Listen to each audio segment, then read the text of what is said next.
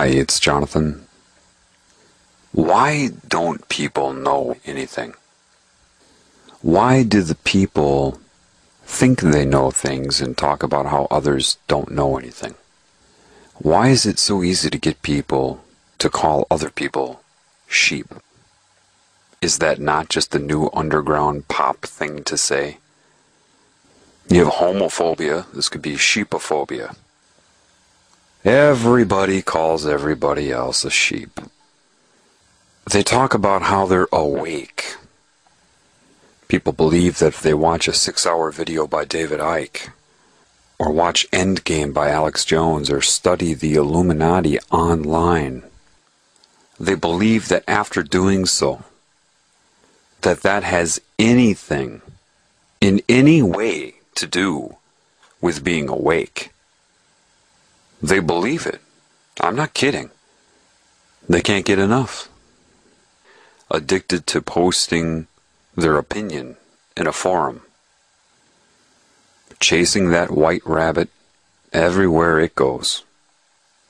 And they call themselves awake because the system wants you to call yourself awake. It loves that. Cockiness, arrogance, and hating other people. And as you're sucked into this, it is consuming you and you don't know it. You don't even realize it. You just prefer to be able to call people sheep. Perhaps subconsciously you resent that you were called a sheep. You want to be able to say it too. The naivety with that is that you don't know anything that they know, and they know you don't know it.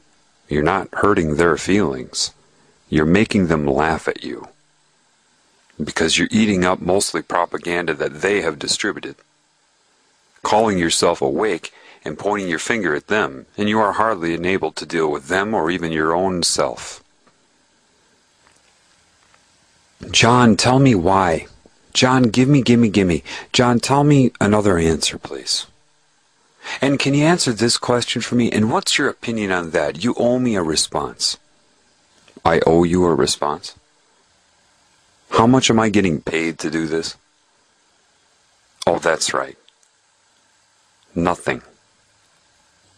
I couldn't even count the number of people that have declared being awake to me. Couldn't do it. People are very easily controlled. All they have to do is create a new subcategory of personalities. Right now, you have the jocks, you have the rednecks, you have the goth, you have the preppies, you have the business people, and the whatever. Now they have the awake people. The reason nobody knows anything can only be explained to you by a metaphor, of course. In this realm, you can only use metaphor.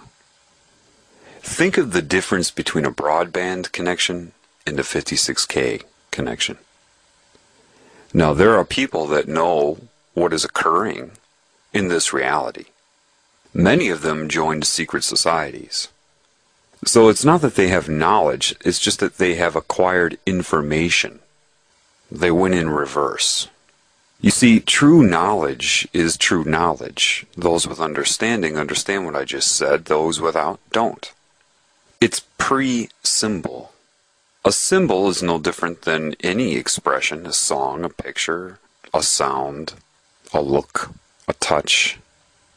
A symbol should be the result of knowledge. The understanding, the awareness, and then you have the symbol surface. Maybe that symbol has already been expressed, but it's irrelevant because the symbol that you're perceiving in your mind is a result having somebody learn symbols and then distributing a very strategically limited amount of meaning to that person does not give them knowledge. They perceive that they're getting knowledge. I'll tell you what a pentagram means and what a hexagram means. It doesn't mean anything. For example, I could say the word gum to some bubblegum popping, dizzy minded cheerleader. And the only meaning that she may come up with when she hears that word is chewing gum. I could say the same word gum to somebody else and they may think chewing gum, but they could also think a gum tree or the gums around your teeth.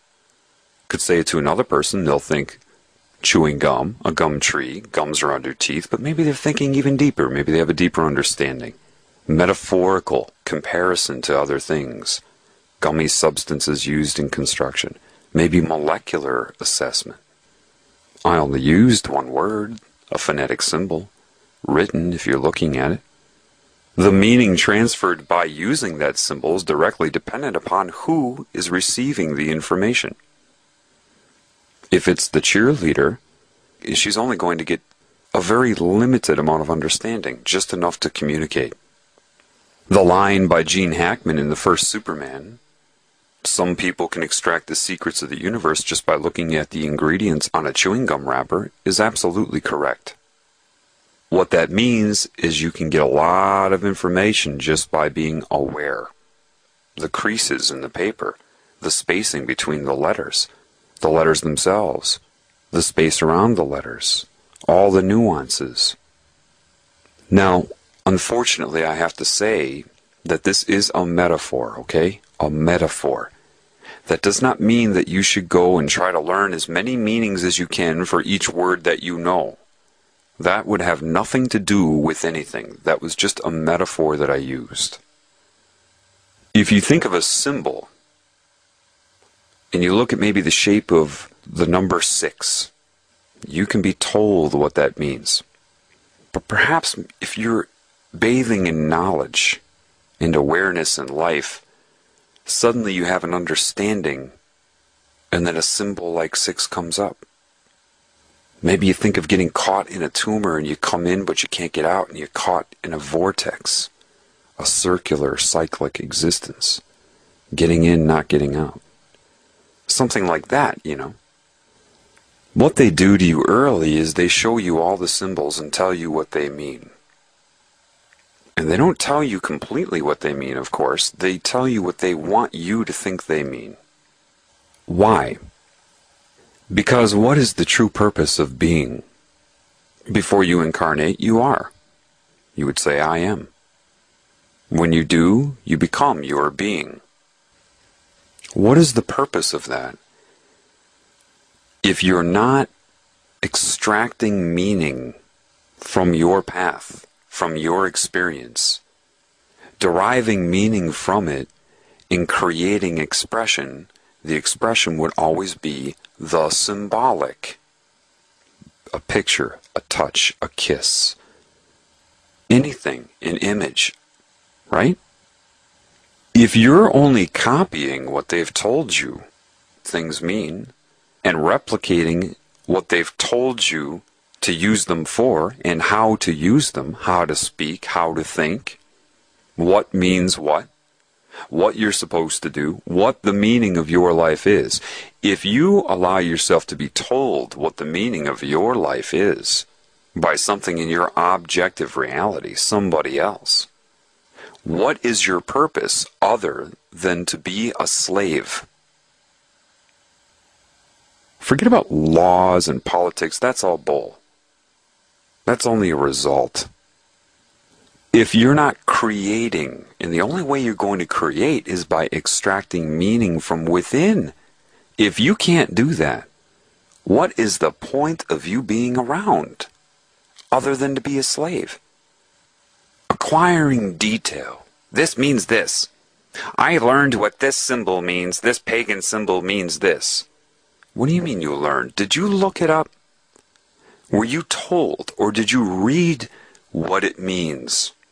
Or did you sit there by a lake and think about life as a whole and what's happening, and the symbol came up and you're like, oh my gosh. See, the oh my gosh is when you extract meaning. It doesn't have to be a traumatic thing like, oh my gosh. It can be, oh my God.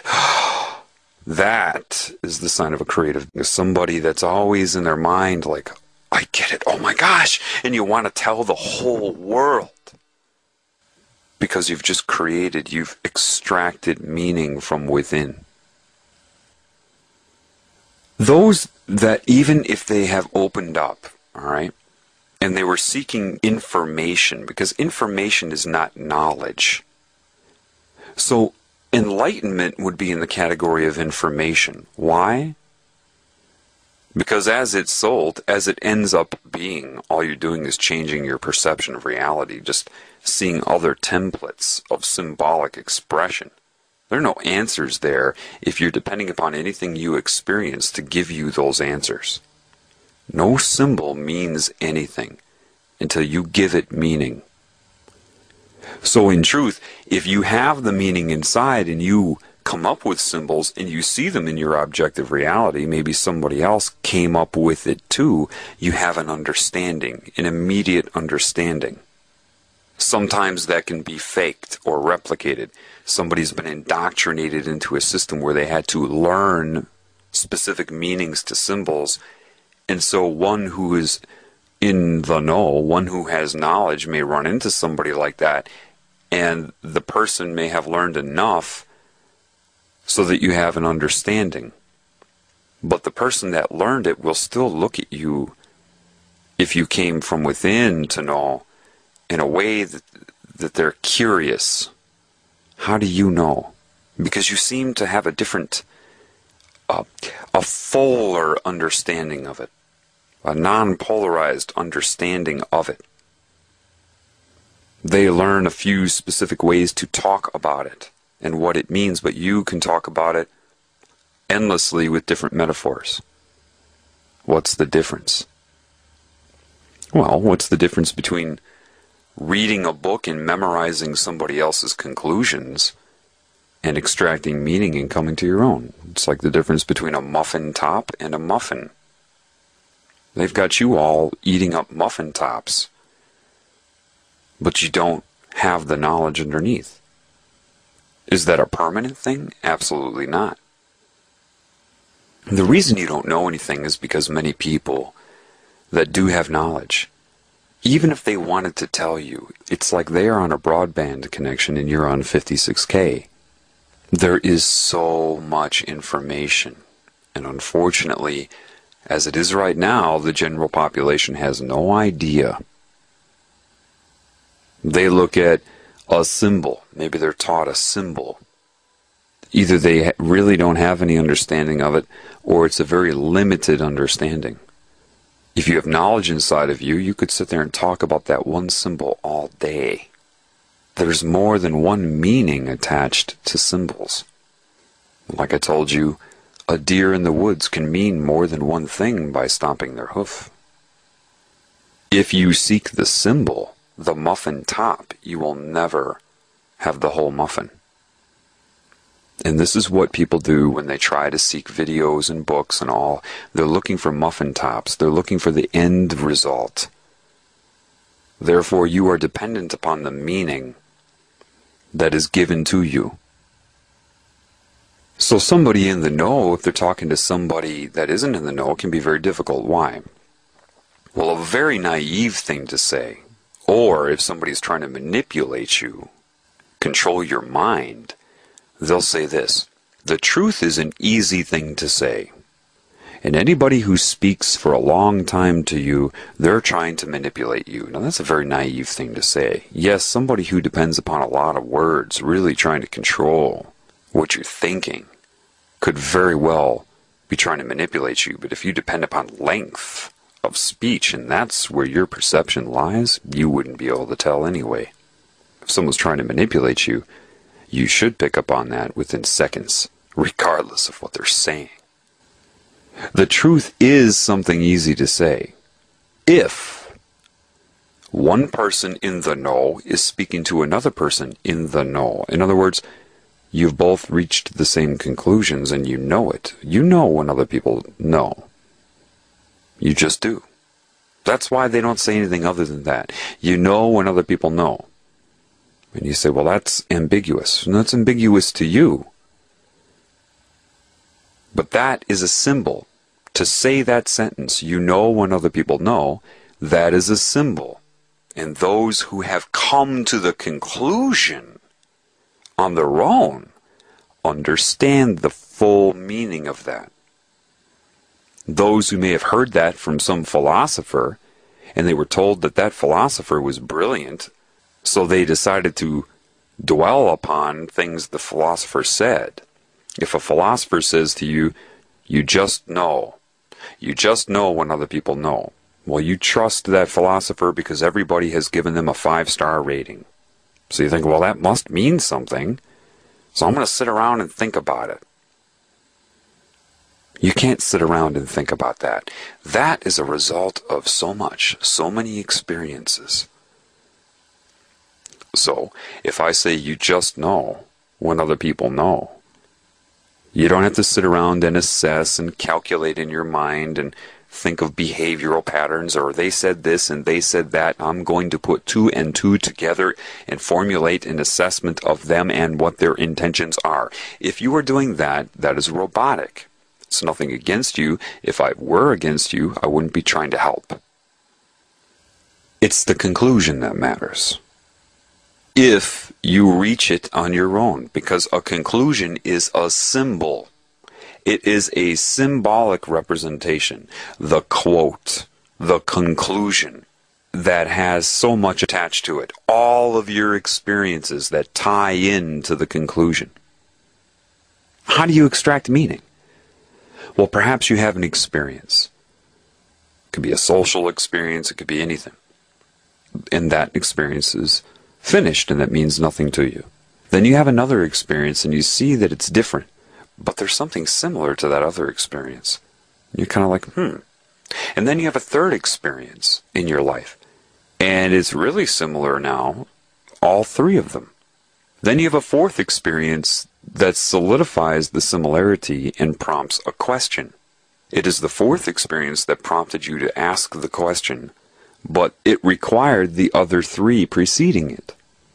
The fourth experience, if it were isolated in and of itself, would never have prompted it. You needed all four experiences. So now you have the question.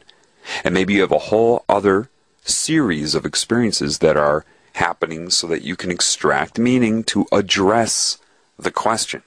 And maybe after all of that, you come to a conclusion. And now that conclusion propels you in your advancement of understanding and extracting meaning in your life, and you start a whole other series of experiences. And that's just one facet of your life, and maybe simultaneously you have 30 other paths going like that, like I just explained. And maybe all 30 of them come to one peak of a conclusion, and you need it all 30 paths that had many, many experiences within each path, leading up to minute conclusions that come together that lead you to a new understanding. That takes time, it takes attentiveness, and the desire to have meaning, to have purpose. And now that one new understanding could be one of thousands that eventually tie in. And you don't even know it, right? Until you reach the oh, the oh my gosh. And all of these things come from within. Your ability to make use of pattern recognition, to see how things are always and never the same. What do they have in common? Did you get out there and experience people of different cultures? Were you too busy trying to project your culture onto them and see what they would say? Or were you trying to figure out what you had in common? I did that my whole life. In the moment of doing it, I didn't really necessarily know why I was motivated to do it. My spirit did, but my conscious mind didn't. Your spirit will lay breadcrumbs for you throughout your entire life or path. So if you come to an understanding and then several understandings, and you know how much is involved with it. You can tell other people the details of your path, but that isn't their path. And if they try to memorize the details of your path, they're pulled off of their path.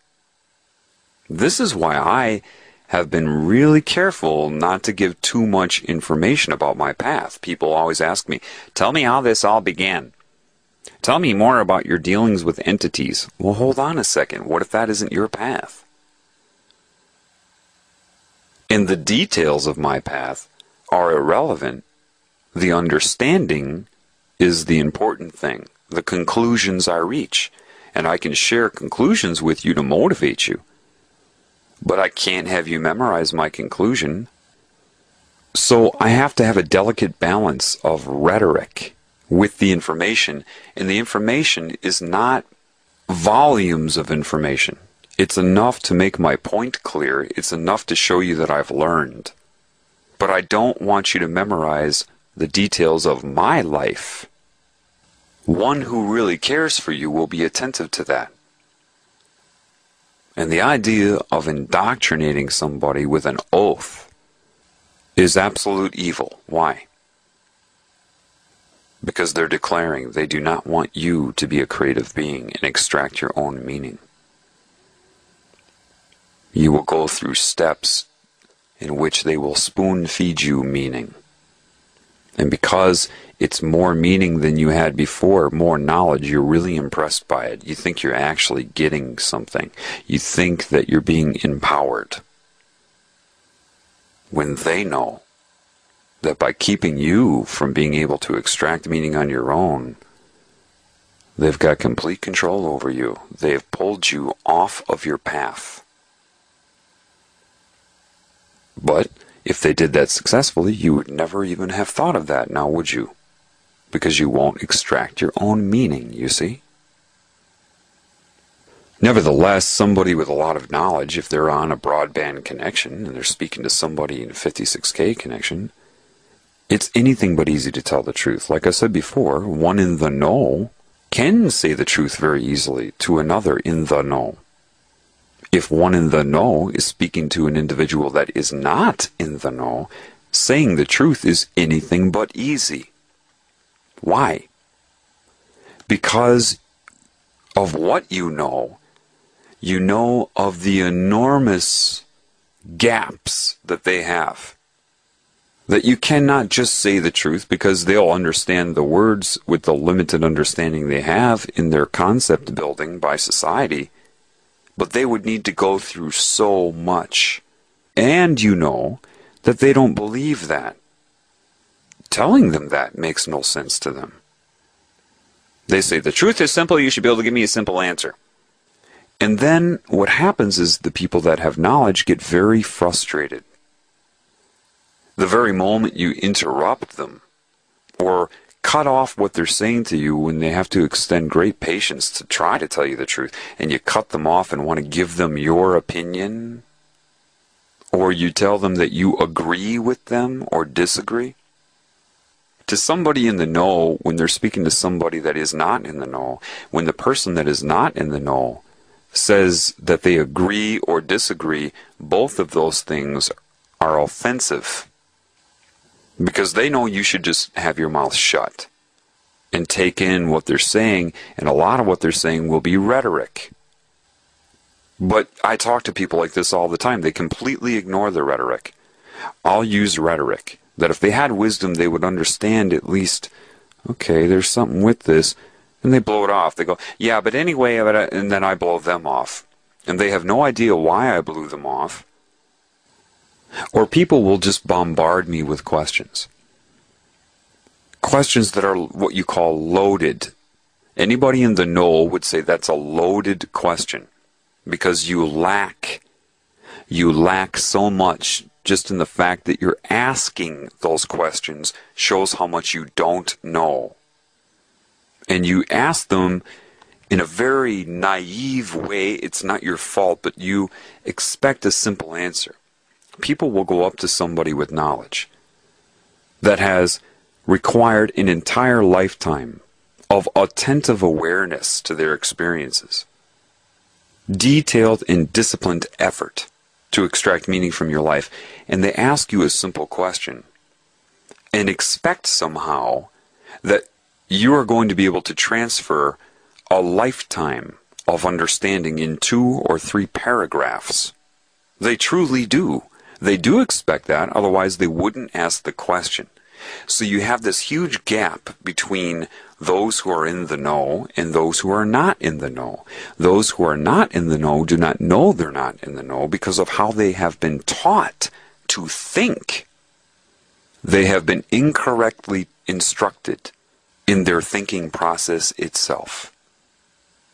They have been taught to look outside of themselves for answers. They have been misinformed about what answers are because they've spent their whole life having the meaning spoon fed to them. They think that's how it works. So you ask a question and somebody can spoon feed you the answer. And because you lack any meaning or an understanding, you don't understand why that answer is wrong, limited, or even misleading you. You can't. Based upon that, based upon how you've been instructed to think. So, a lot of people that have knowledge, when they interact with the average person, they get very, very frustrated. Very. They'll just look at you all they can do is look at you because they can't say anything to you. You would not be able to extract meaning from what they say. They said gum, all you would do is hear chewing gum. And they're thinking 500 different meanings to gum, all leading up to a point of conclusion. If you lack that, it's a waste of time to tell you anything. This is why when you hear someone tell you that you cannot be told the truth. This is why. So they'll look at you and they'll have that look. And those in the know understand that look. It's a look that says, You know so little. You know absolutely nothing and don't know it. To tell you what I know, I would need 500 mouths and have to be able to speak 500 different sentences simultaneously, all at the same time, to express what I know, and you would have to be able to interpret 500 simultaneous sentences flowing at you at once. That's what that look says. And the look also says you don't even know that. And if I told you that, you would call me arrogant because you've been trained to call people arrogant. You don't even know what that means. So they'll just sit there and shake their head at you. They shake their head from side to side because they're paralyzed. It's the questions you ask, the way that you ask the questions, and what you do if they actually try to answer them. How long does it take before you cut them off, roll your eyes, or get distracted by something that occurs in the room, like a cat being distracted by bright and shiny objects? And if they're trying to tell you something and Maybe your cell phone will ring and you'll tell the person trying to give you truth to hang on. Shelly has to talk about her boyfriend. Okay, hey, you're not going to get the truth. You're nowhere near prepared to even comprehend anything that is true. And then you say, Come on, just tell me. You can't be told. Well, that doesn't make sense. All you have to do is tell me. You can't be told not in your current state. You need a lot of work, and you don't understand why you need a lot of work. That's what it comes down to. Now, nothing is 100%. Am I saying that every Freemason has been spoon fed? No, there's a lot of intuitive people that probably joined that. But they were naive enough to be sucked in. But some of these people may want to tell the world things. Maybe they thought, you know, this isn't fair. I, I got to tell them what's going on. And they tried. Maybe they tried with a few people, but they got the rolling of the eyes. Or the person that they knew knew nothing, tried to debate them. They're so far out of the know that they can't even recognize truth when it's told to them. Do you know that the majority of the people that look up information on the Illuminati, point their fingers at people in the Illuminati, if you actually sat down in a room with these people and were allowed to ask them questions and they had to be honest with you, if they told you the truth, you either wouldn't understand or you would roll your eyes, you would laugh at them. I know enough to know that. A problem with somebody in an organization like that is not only are they separated from you? They're separated from you because they cannot relate to you. Because what you think is, is not what they think is. That's first and foremost, and that's by design, by that which sucked them into it. They're also controlled by an oath with fear. And it's not just fear of death, they'll use threats of the unknown because these people are shown different templates of reality. And they say, we control that too. So if you do this, it's not over when you die, we'll get you here, here, and here. And they don't know any difference. They can't prove that that isn't happening, that that won't happen. That's the fear of the unknown. When are you subjected to the fear of the unknown? When you look outside of yourself for meaning. They are answering to a consciousness that overwhelms them. Can speak through anyone, they know it. If they want to ask it a question, they can look in a cloud. So that can be overwhelming for them, and I understand that. My intent is not to point my finger at anybody or anything on any scale. I don't have a goal because in eternity there is no end. So how could I let the end justify my means? That would be a backwards, cancerous approach. That's the same thing as looking for a symbol first and then trying to learn the meaning. There is no end in eternity, so how can that possibly justify your intent now? To try to seek some goal or worry about whether you will succeed or fail. Once you are thinking about that, you corrupt your means. Let your means be your means in any given moment. To feel and express the truth, to see what gives you joy, what makes you feel alive? Not elated. I'm not talking about pleasure or manic behavior. I'm talking about calm meaning to your life when you give and you feel what you feel. You cannot let whether you think you're going to fail or succeed drive or motivate your expression now. If your expression is the correct one of truth, of spirit, you have to trust that the results will always be the correct one. If your expression is the right expression, your perception of any result will be a correct result.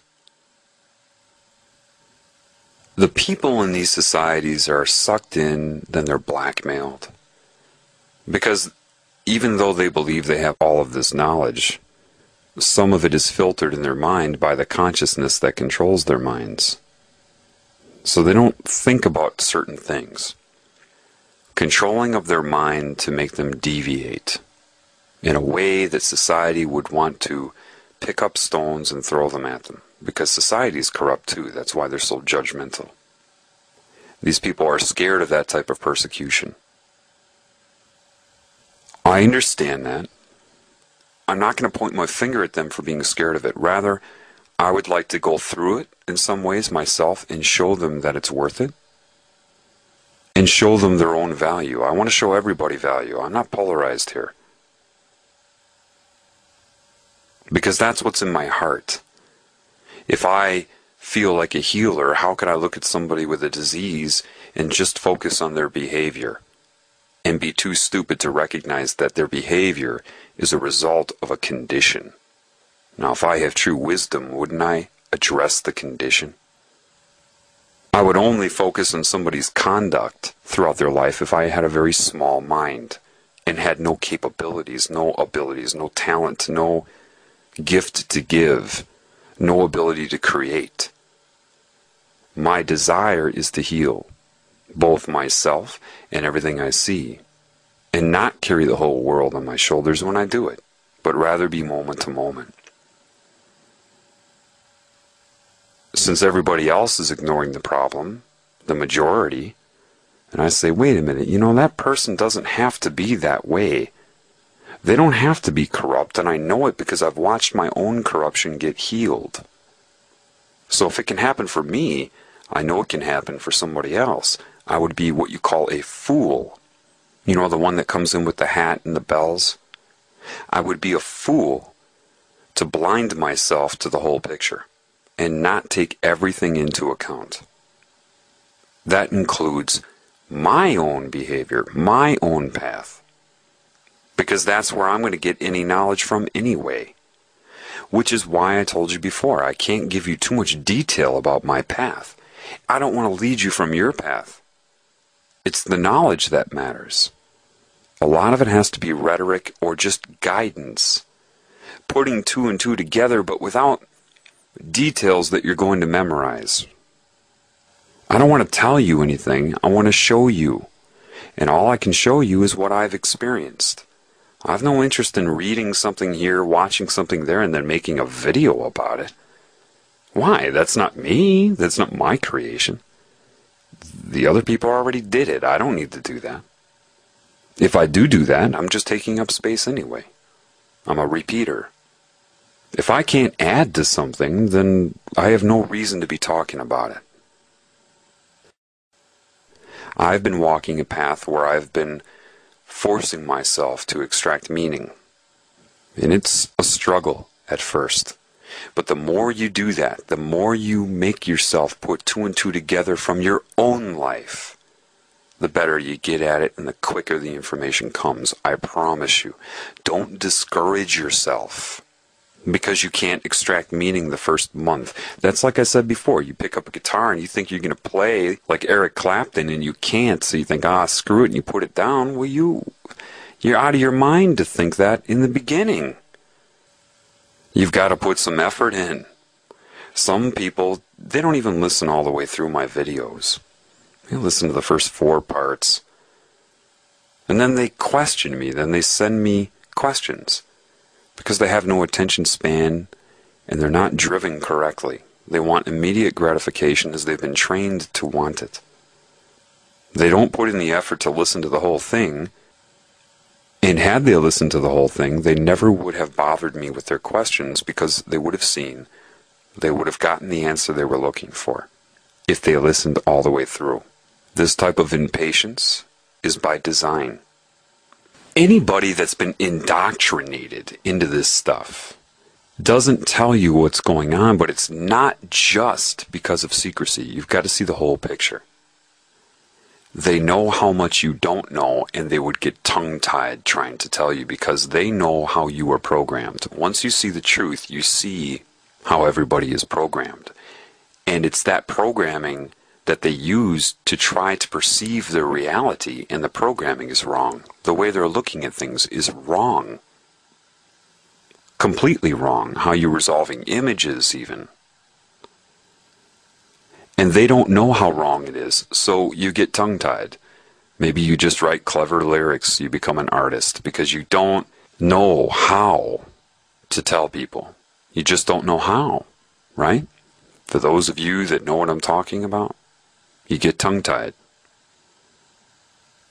So, what is needed? What am I doing? I'm doing what I can. But I have had a path, you see, as we all have had a path. And your path is where all of your answers are. Every person listening to me right now, for what you need. Do you hear what I'm saying? What you need as an individual to know yourself, to know what you need to know, you've already been shown. And don't ever let anybody tell you that it's too late. As long as your memory works, I don't care if you didn't extract meaning from your experiences while they happened. What are you going to do? Quit? Say it's too late?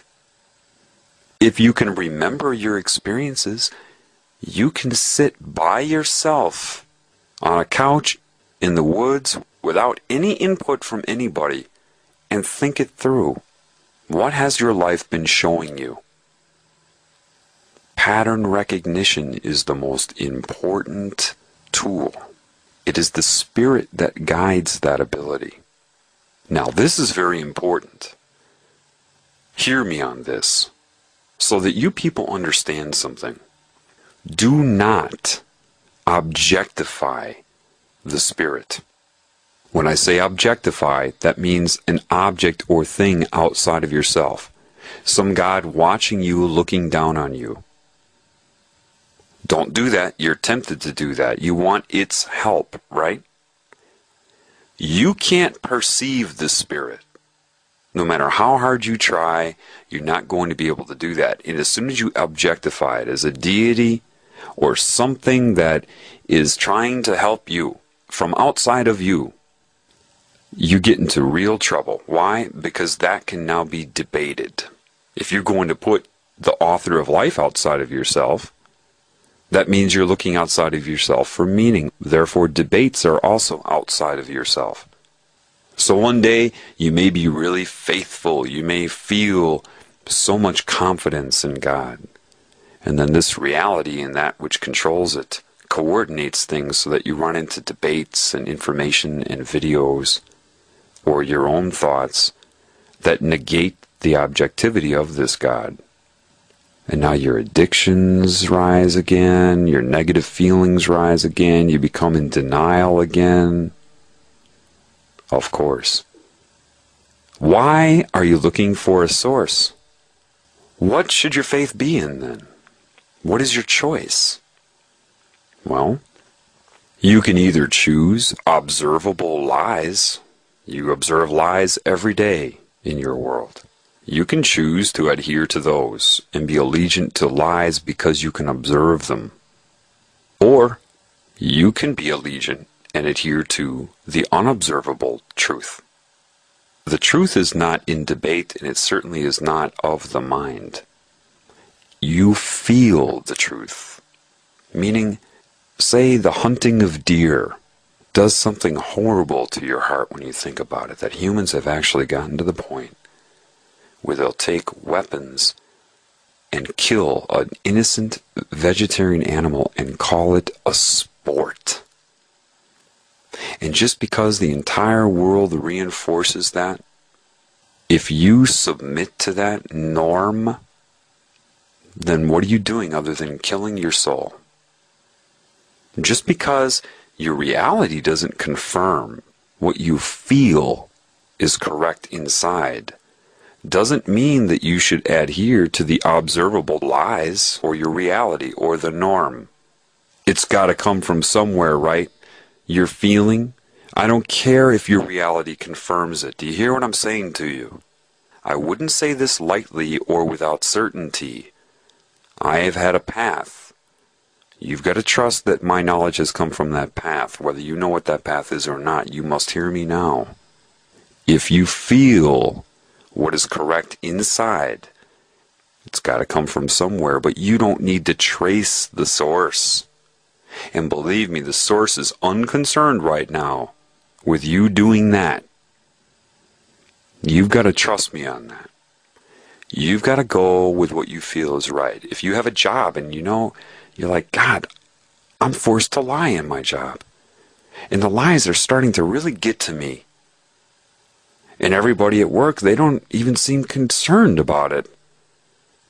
And I complain about it, and people say, well, you got to make money. But something inside me says, this is wrong. I don't know exactly why it's wrong, or maybe I don't have the total understanding because nobody else in this reality, or very few people in this reality, seem to confirm it. And I know I can't function the way I used to if I go from it, but something inside that's not of the academic system, not of the media, not of the norm, is telling me this is wrong. And you ignore that to submit to the observable lie, that's killing your spirit. Don't believe me? Follow your feeling. Honor it and see how you feel. I had my own business, my own clinic making six figures easy for me. I walked away from it all, and I couldn't have been solicited to do so. I couldn't have heard somebody talk about it to motivate me to do that. It's something that slowly occurred inside. I got tired of charging. I felt, even though I was very good at what I did, and people chose me, they drove from other states to come see me, bypassing their local healthcare. I realized I'm not solving their problem. It may appear that way, but all I'm doing is moving it. I'm moving it to a financial problem. They shouldn't have to pay for this. They shouldn't have to pay for my time. So I decided to lower prices. Extremely lower them. And I got heat from the state board. Because they didn't want all the other crooks to have to lower their prices too. It got to the point where I didn't even care if I could afford to pay rent at my office. I'd just go to their home if I had to because I felt alive. This came from within me, not some video that I saw one day. My whole life. Looking back on my whole life, what made me happy, what didn't? What are my gifts? How did I affect people positively, and how did I affect them negatively? Putting all of these things together, looking inward. Everything you need has been in your individual path. You've got to trust me on that. It's not in a 9 11 propaganda video. That may catalyze you to shake up your paradigm, which in some cases may be good, but if you magnetically bond yourself to it, now you're way off your path. I closed down my business to do this for free. People ask what the wake up is. That is the wake up when you dramatically change your life because of conclusions that you come to from the extraction of meaning, understandings you've gained from your life.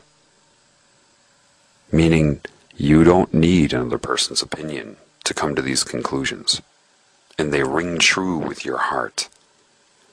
The unobservable truth that you feel, regardless of the source, don't bother trying to find the source. It's unnecessary right now. Do not objectify God. You don't need to do that. And it doesn't need you to do that. You've got to trust me on that. Your spirit's in you. It's been laying breadcrumbs down for you your whole life. It's not too late. Those breadcrumbs are still there. But you've got to want to do it. How do you begin to want to do it? By putting two and two together you don't need to put two and two together necessarily of all this information you're being flooded with. You need to look inside. Everything I tell you has come from my path. I address other situations. Do you know, I don't like to talk about the New World Order. I don't like to talk about mind control. I don't like to talk about entities or the all seeing eye. Because that isn't of me. It has nothing to do with me or what makes me me. That's why I don't like to talk about it. Why do I? Because it just happens to be something that is keeping all of you from knowing yourself. So unfortunately, I have to address it and I'll address it in a broad recording like this, but day to day when I meet different people, I don't go up and talk about the New World Order to everybody. And that's another thing, people. I get a lot of people, John, how do you handle these entities? I'm starting to open up my psyche and, and you know, they're doing these things to me. Suck it up. I don't know what to say other than that. I mean, I get a lot of resistance on my path. I do. Some of it really, really sucks, but you know what? I'm not a paraplegic in a wheelchair that needs to blow in a straw just to get around the block.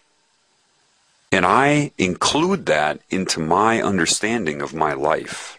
I don't censor it so I can be a martyr. There are a lot of people that have it a lot, and I mean a lot worse than I do different types of interference in their life. I have a different type of resistance. But I'm not, like I said, blowing in a straw. I'm not somebody that has chronic debilitating back pain where I can't even stand up and I have trouble falling asleep because of that. There are people that have it worse than you. The girl that I showed you in the beginning of the next phase video, I'm not her. Why would I set that video up that way? I wanted you people to see how quickly you get emotional. And then you were emotional, you wanted to defend her, and right away did you point your finger at the Illuminati, forgetting about the beam in your eye. I mean, what is it you think you're going to do? Overcome them with wrong mindedness? Without knowledge? How long would it take before you would do the same thing they're doing, whether you think you would right now or not? If you actually overcame that and became the new controllers of a hierarchy, how long would it be before you decided that because you're in control, you have to make some decisions about humanity? And don't think you would avoid the all seeing eye. If you rose up to that level, you'd have a little meeting. You point your finger and you don't know what you're pointing at. If I had to paint a picture of collective humanity, a giant portrait, it would be billions of people all with their arms extended outward, pointing at somebody else. That's the image of cancer. The sound of cancer is noise. I'm right, you're wrong. I'm right, you're wrong. The majority of people, if you say black, they say white. When their integrity is on the line, they defend lies. It's a knee jerk reaction based upon everything that they've been fed through the media and school. It's no one's fault, but it needs to be understood. Anyway, the reason that none of you know anything is because those in the know don't know how to tell you. And they lack the patience. This is the crucial thing because they are not motivated by spirit yet. They don't have the patience. So they become overwhelmed. Let me give you an idea of what I mean by that part of my path has given me this perspective. If I looked outside of my path for the answers, I could never help you in the way that I'm helping you now. Just like if you try to memorize my path, you can't help anybody. So why do I even bother talking to you? Because it's not my path that matters. It's showing you how I have taken from my path so that you begin to do the same thing for yourself.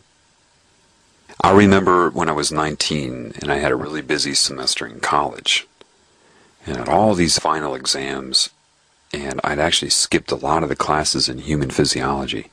This was going to be our biggest exam, the final exam for human physiology. Five chapters.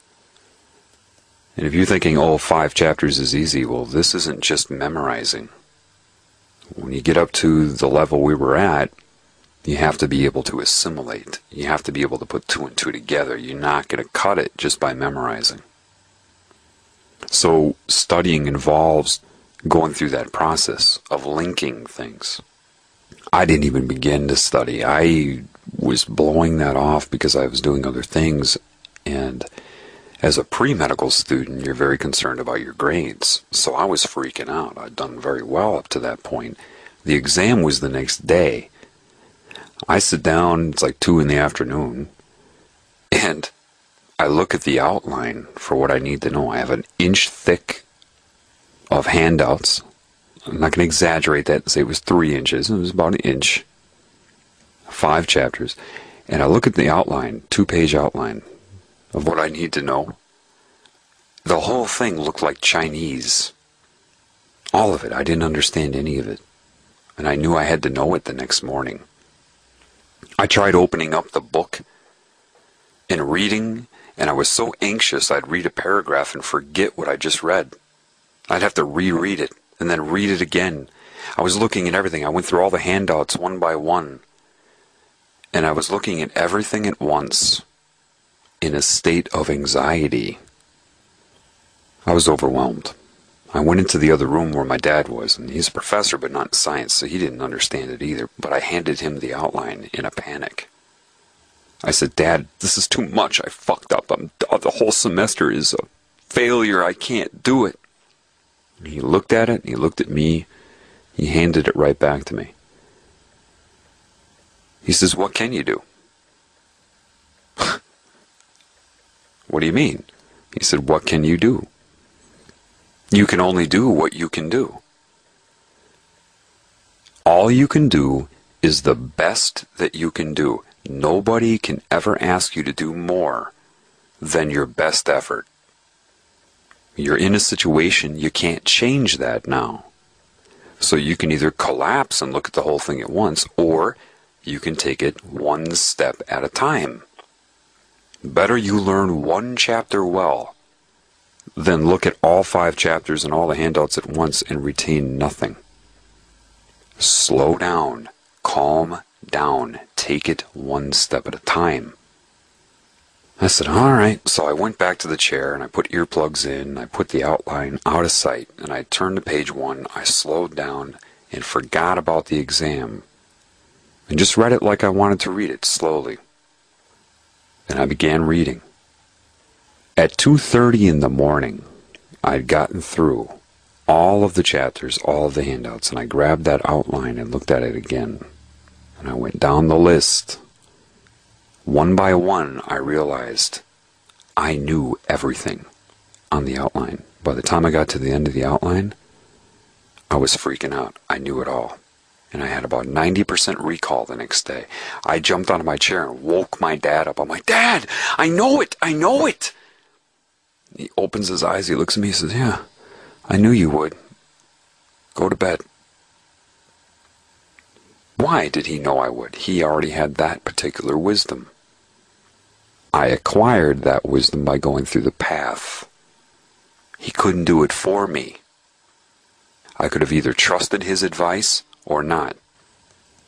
Same thing as what I told you about how you cannot focus on whether you will fail or succeed, you see. How would I come to that conclusion? By experiences in my life, my path, like I just explained now, you see. Extraction of meaning through experience and walking your own path this isn't an exam, what's going on in the world, but it is the same. You have to start recognizing how things are different but the same. Pattern recognition, the energy, the understanding, the wisdom of that has helped me with what I'm doing now. It is the same in many ways. That is where true knowledge is. I'd learned that previously too in another way about time. In first grade, at least when I was a kid, we had lunch tickets. I don't know what they do now, but we had paper punchable lunch tickets. And so every week, one kid in class would be designated the one to hand out the lunch tickets. So me and some of my friends had this contest. How fast could we get the lunch tickets handed out to everybody in class, right? So they did their thing and they all had their time. Then my week came up. The first day I was all raring to go, and as soon as I got those lunch tickets, boom, I'm just flipping through them, looking for people, trying to find them as fast as I can. They're running over to their desk, looking for the next person, running over to their desk. And after that, I beat the time. I had the record time. The second day I did it, I was within like 10 seconds of the first day. But because I'd already had the time and I thought, well, gosh, I'm going fast, it occurred within me to wonder about something. I wondered, how fast am I really going by exerting this much effort? First grade. I realized the only way to find that out is to go really calmly and slow as if I was just doing it normal. So on Wednesday, I got the tickets and I slowly went through them. Was clear when I saw the name and walked over to their desk, looked at the next name, walked over to their desk to give myself a control you know, the regular speed to see how fast I was going. So I walked through the whole thing. When I was finished, I beat my other times by almost 30 seconds. Then I had a new wonder, a new question. Why did that happen? Why do you think? Because I wasn't in a panic. I may have ran physically fast from one desk to the other, but when I was going through the names, my mind was chaotic and cluttered. I wasn't resolving the name and resolving the person's location in the room as fast as I was when I was calm. So the whole thing together happened quicker when I was calm. Just so you understand, if I can extract that just from my life, do you think it's possible that a social engineering agent or a mind scientist, propaganda agent knows the same thing about the human mind? That when it's in fear, anxiety, or panic, that it cannot think, it cannot retain. Do you think that might have something to do with how they're flooding you with all of this stuff about the New World Order, mind control, FEMA camps, all at once? And using fear? Do you think they may know that your mind will lock up and you won't be able to put two and two together? Is that a possibility? I just want you to consider that, okay? Look at what Alex Jones does with his movie Endgame. By the time you're done watching that, where's the solution?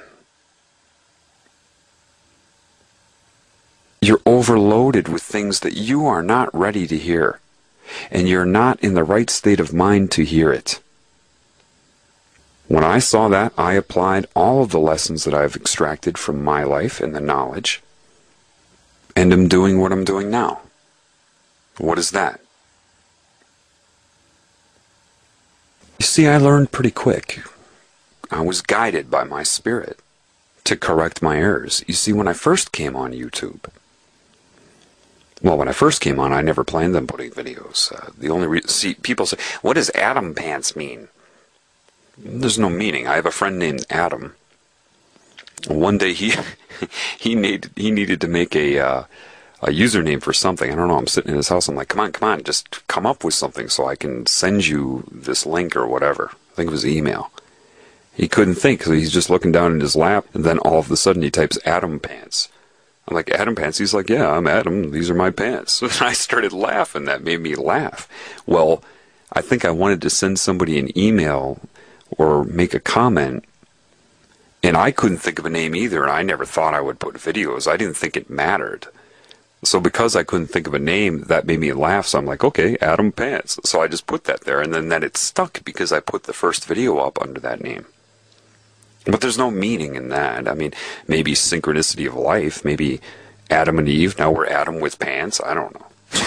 but, I mean, that's where that came from. Anyway, my first video on YouTube was me experiencing anxiety. I knew how much I knew and what I was aware of, and I knew that the people that would be listening to me didn't know. And I knew that part of what they didn't know was that which would keep them from paying attention or believing what I'm saying. It's not that I couldn't make them understand, but I knew the control over beliefs and the mind was strong enough to get them to turn away from the video before I was able to show them. Meaning, I knew I could explain it. I knew I had that ability. But I was very anxious because I knew I could feel that a lot of people would turn away from the recording because of their laziness, because of their lethargy, their low attention span, their preconceived core beliefs, the rolling of the eyes, their totally programmed minds. Before I could show them that they're programmed, they would click off of the video. And that put me into a huge state of anxiety. And so there was a lot of good information in that, but it was also number one, the recording quality wasn't very good, but in the beginning I was just bitching and bitching and bitching because I was angry and I was angry at the future. I was angry at knowing that a lot of people wouldn't listen. I was worried about whether I was going to fail or succeed. Do you understand? And that inhibited my expression in the moment. As I was taken through my path, Many lessons were quickly shown to me. What is a lesson other than putting two and two together in your own life, in your own path, and your spirit will do that for you? Just be mindful of the truth you feel inside. I've grown a lot since I first came on YouTube a year ago. What I would say now is not what I would say before. Not that what I said before isn't valid. It was valid for progression. But I calmed down because I realized that was it. I remembered the exam, I remembered the lunch tickets, I remembered how the mind locks up in anxiety. I started reading all the books because I did do my research. I read hundreds and hundreds of pages of Fritz Springmeier, read four of David Icke's books, not to regurgitate them, but to see what was being said to people. I realized when I read The Biggest Secret that that was a very traumatic book. Fritz Springmeier stuff is very traumatic, and I knew people better than the people giving out this information. I'm not saying that David Icke's intentions are bad. I think he does a great job speaking. He gives from himself. But there are things that I know. I know people. I am a very sympathetic person to both sexes. I know people, and I know the mind from my own experience, not from a book. And I thought, wait a minute. These people need to be enabled first. Because if they're not enabled, perhaps they didn't put two and two together from experiences in their life yet. If they didn't do that, and they're going on a superficial meaning basis, they're fucked. I knew that right away. Holy shit, they're going to be. Wait a minute. And then I started understanding anarchy. It was just a huge red flag. So I stopped, recalibrated, and went back to the beginning. If people are not enabled, then all of this information will paralyze them. And I told you that in The Healing Begins Now. How am I going to enable you? Well, I'm following the path. Again, I'm not really worried about whether I fail or succeed. I don't have a particular objective in mind. I don't have a particular goal or an outcome because that's the end justifying my means. And I won't allow that to happen. I know what people need. They need to learn to extract meaning from their own life. And it can happen, but here's the deal. The brain, if it's going to rewire itself to accommodate that type of thinking, reason and logic and actually pattern recognition. The brain will have to rewire to accommodate that if you're going to do it in conscious awareness. That takes some time. So I have to catalyze that process and be patient. That's why it's almost a year later now. I have a lot of knowledge to share, but if I just went with everything I know, if I truly cared about you, then by doing that, I would be hurting you, which would be a direct contradiction. You've got to take the whole picture into account. It may suck to have it take this long, and that may be excruciating to wait for people to catch up. But if you truly care about them, that's what you're going to do. So I know what I'm doing, kind of. I want to I will, I will give opinions that I've extracted from my own life, yes, but I will always, if you notice, show you how I reach that. And the way that I show you keeps you from, try, from trying to copy it. At least I do that the best I can. I think I've done a decent job as one person trying to address many people. And I'm not strategizing too much because if I'm strategizing with what I say, then I inhibit the flow of my speech and then it's not as authentic. So I speak. I speak as I am. I teach how I teach. I'm both a student and a teacher. And what I'm trying to teach you is how to learn from you. How to handle pressure based upon lessons you've already gotten in your life, whether you remember or not. I want you to remember. I want you to go back and find it. It may take some time. You've got to be patient. You can't play guitar right off the bat. The results will take care of themselves. If you express yourself with the proper means, you will have the correct illusion of an end. Do you understand that? If you focus on the end, your means will get screwed up if you focus on the means, meaning have faith, that's where trust comes into play. Faith in your instinct, in the expression of love. If you believe that love is the superior consciousness, then you have to trust it. You have to extend faith to your spirit, to the truth. Love is interchangeable with truth. People misunderstand that. They've been misled. It's not their fault but they have a belief. They've maybe heard me say something about unconditional love, but the problem is that people have a belief that unconditional love means unconditional fluff. Try substituting the word love with the word truth and then say it. Unconditional truth. Love doesn't go around and act fluffy duffy. Love does what's appropriate in any given moment. Sometimes you may seem to be rude to somebody. Why that was needed, you may not know. But it knows. Trust love in the moment. So I had to make a decision. I cannot control my experience. This I understand.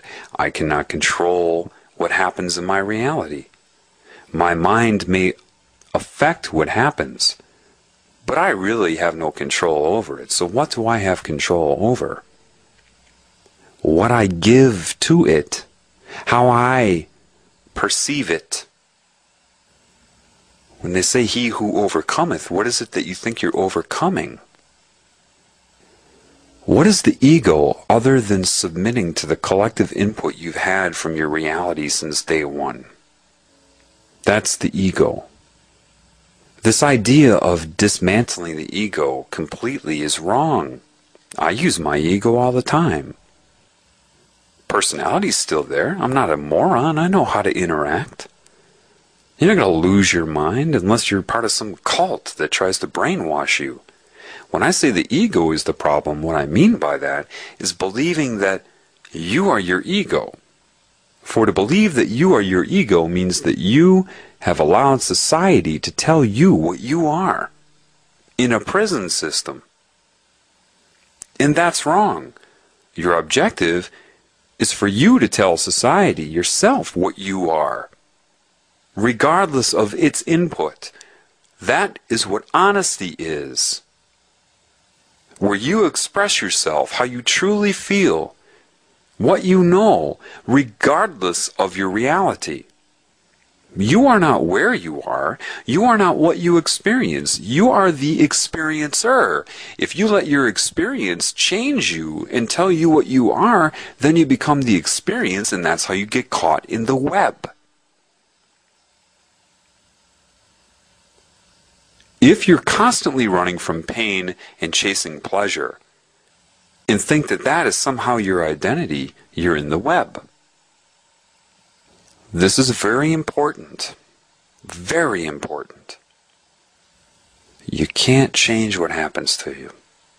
In the sense that your ego does create your life here through the law of karma and a law of attraction, which is an imposition on you, by the way. It's an imposition. It's wrong. Stop watching The Secret. It's wrong. Anything you want to manifest out of the ego is just an accident waiting to happen. It's only a matter of time before you impose upon another's will, and they know that. When you manifest out of love, love takes priority. It will manifest correctly whether you understand it or not. So your mind creates your reality. So if you're just mind ignoring input from spirit, you can potentially create very bad things. If you submit to the truth, which is what it comes down to, people, it's not falling on your knees and worshiping as some enslaved servant. Serving God? What? You don't serve God. You wouldn't be without God. Serve God? What? You wouldn't be without it. Women, do you have a child? Do you go through the whole process and give birth so you have your child worship you? Is that your motive? Do you make your child contract to worship you and bow down five times a day to you? You know, here's a good example of what I want to invoke in you with your understanding of why patience is a virtue. Now, I'd taken just a 10 minute break to go do something. I went driving and I came back. Now, in that 10 minute period, to tell you what went through my mind in five of those 10 minutes would take me about three hours of linear language, of linear speech. This is crucial, and this is why patience is needed. What happens? Well, if all of that comes into your mind, you get overwhelmed, right? Because you see things broader. And compared to how you can speak it, it's overwhelming. It's kind of like if I had an Adobe ebook that you read with the Acrobat Reader, and say it's a 20,000 page book. Now I have a memory stick and I can just plug that into your hard drive, copy and paste it onto your hard drive. Once that's done, you have the information. It took a few seconds to transfer it, and now you have 20,000 pages of information.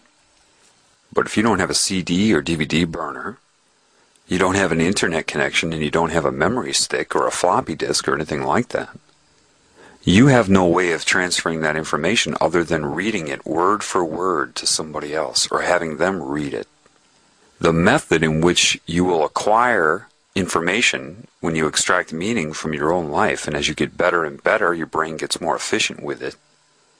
The method in which you do that is not the same method in which you have to use to communicate that information. People get locked up. They're overwhelmed they end up criticizing you because of their own anxiety. It's not that they don't want to tell you. I bet there are people that are part of these secret societies, like I said before, they're like, ah, that's it, I want to tell them. And they suffer consequences if they try to do that. And if you roll your eyes at them or they get overwhelmed because you don't want to listen to the whole thing because you believe you know, that makes them hate you even more. These people, a government agent doesn't have time to extend patience. It's not that they wouldn't want to tell the world. I bet there are a lot that do. I bet there are. But they wouldn't know where to begin. And could they extend the patience over time, knowing that they would be interfered with in ways that you don't know and they do know? When you break adherence to certain frequencies, you see things that you never would have thought possible. This is why I laugh at people. One one guy sent me a message and says, "Is there a clear channel we can communicate on? A safe channel?" I sent him a message back. I'm like, "What do you mean a safe channel?" He says, "You know, where we can't be detected, something safe." Those in the know laugh at that. Those who think they're in the know but aren't in the know have no idea why we're laughing. You won't understand this in the way that it is, but I will tell you this. There is no private communication. Some of you are thinking technology. Look, um, even your thoughts, if you're targeted, are not private. And I'll tell you something, that's a very liberating thing, actually, if you learn from it. If you know your thoughts can be read, why would you lie? And here's the interesting thing. This is why, if you adhere to the truth, regardless of source, just the truth that you feel, it can't be beaten. They can invade your mind, but if you adhere to the truth, then you see that as liberating. It's like the balance game, you know, where you stand in front of somebody and you put your hands up and you try to knock each other off balance. You lose that game two ways. Either you get pushed backwards, but if you exert too much force and push forward and fall into the person off balance forward, you also lose. Somebody with correct balance can get you to fall into them or push you backwards. And that's the thing. That's why mind control isn't what you think it is. If they do it too much, that'll propel you to the truth. If they do it too little, you'll naturally go to the truth. If they scare you, then you choose truth over your life. If they entice you, then you learn from the enticement. If they can invade your mind, I see that as a good thing. Because if they're going to listen to my thoughts, that means they have to consider them. I welcome it. I welcome people listening to my mind because I'm not pretending to be perfect. They can learn from my corruption and learn how I'm trying to overcome the corruption, how the corruption is being overcome. You have no privacy. The sooner you realize that, the better. If you adhere to the truth in you, what have you got to hide? The only way you would hide that is if you fear the judgment of other people. Or if you feel that your body is more important than the truth itself. Remember, adherence to observable lies or adherence to unobservable truth, faith. But not faith in some objective God, just what you feel is right and true inside, what gives you the most joy. Stick with that. Keep it simple. So it's bizarre, probably, for some of these mind control agents and entities, because I actually welcome their observance of me. I feel like I'm on that show Big Brother, where I'm under 24 hour surveillance. That's fine with me. I don't know exactly why, I just don't care. Other people say, I had a black helicopter follow me. Yeah, I had that a year and a half ago. I waved. They're not going to follow me around. And if they do, I won't care. They know that. Why? If they follow me around, I'm a good enough communicator to make people take note of that. Quickly. See, usually they know that it takes too much time to give somebody the truth. With me, I can take a person and very rapidly make them understand. In person, anyway. Because they'll have to assess me and my energy. There's more than just words, people. Why aren't there agents sitting in a van across my street? Why do you think? Because I would go right out of my house, walk up to their van, and say hi. If they're going to follow me, then I'm going to have them talk with me. I don't care if they're there. I'm going to make them think about it. Why are you doing it? Is your perception narrow? What is the purpose in what you're doing? Why covert? Especially if I'm willing to talk with you. Is the purpose of trying to make me fearful and anxious meaningful? Are you deviating from your path because you're allegiant to something that is forcing you to do so? If you had your choice, would you be my friend or the friend of somebody giving you orders? Be honest with yourself. If they want to sit and watch me, they're not going to do that because they know I'm watched, because they know I know I'm watched. Remote viewers, astral travelers, the whole deal. Why are they going to do the van thing? I already know and they know that I know. And because they know I know, that wouldn't be as effective as what they're doing to me. What they're doing to me is what they do to people who don't care about what they do to the people out of the know to scare them. And they can't really peg me as somebody in opposition to them. What are they going to say about my recordings for people? What? That they're wrong? That my message is negative? I'm teaching people to be alive, seek the truth from within, to recognize their own value. That includes a government agent. If a government agent is listening to this, that includes you. And you know I feel that. What are you going to say?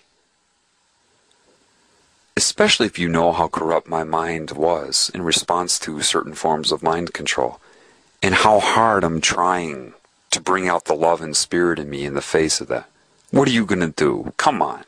Criticize me for it, for trying to heal? Unsolicited, actually motivated to heal what my mind thinks it wants, and I'm still doing it. What are you going to do? What are you going to say? That you don't respect that? Do I know that a lot of them are under mind control and they're very narrow minded like everybody else? Yeah. I would imagine it would be hard for them to attack me because I address them when they do. And they know that I know. In fact, I even had a government agent turn on a microphone and speak into my head once. He said, Look, I know you don't want to get involved, and turned off the mic. He wouldn't do that unless something that I was doing and how hard I was trying and how neutral I was trying to stay in the face of it, I somehow, in some way, earned respect from him because I don't even know the full capabilities that they have. He wouldn't have said that to me because I don't want to get involved. I would prefer to just teach to be in a world where I could just help people with their path and gain joy from doing that. They know I don't care about this New World Order shit in the sense that it has no meaning to me. I see it as an inhibitor, something that's getting in the way of truth, but I don't care about it and I don't lust after it. They know that. So what are they going to say? What are they going to do? What they won't do it directly. What do you think? Some FBI agents are going to come to my door? They wouldn't want to put up with that because I would sit there and I would talk with them. The only thing they could do would be to beat me up. And I don't know that they necessarily want to do that. I mean, really, let's look at what I'm doing. In spite of their agenda, I'm doing an awful lot of healing. You gotta be an evil motherfucker to attack me for what I'm doing when I didn't ask for it. I wasn't even seeking it. What do you think I was a conspiracy theorist? I wasn't. I had my own business, I had my own life.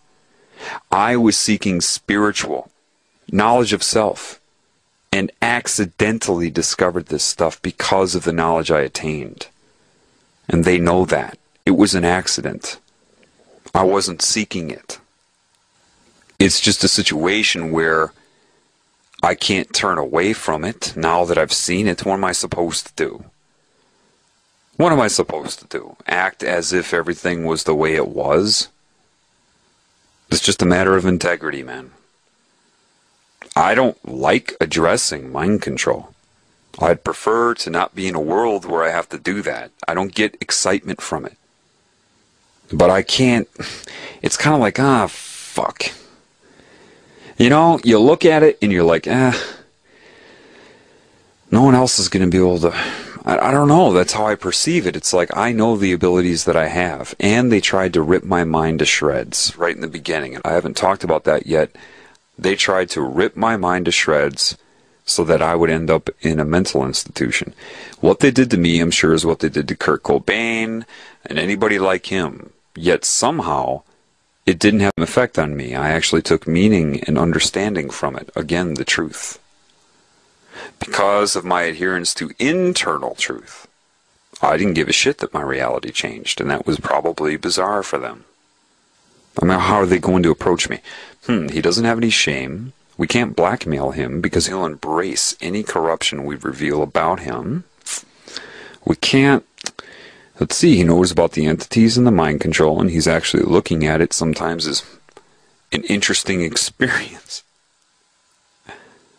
What are we going to do specifically? Because he actually engaged us. I tried to call the FBI over a year ago. I didn't get a. I, I left a message, no call back.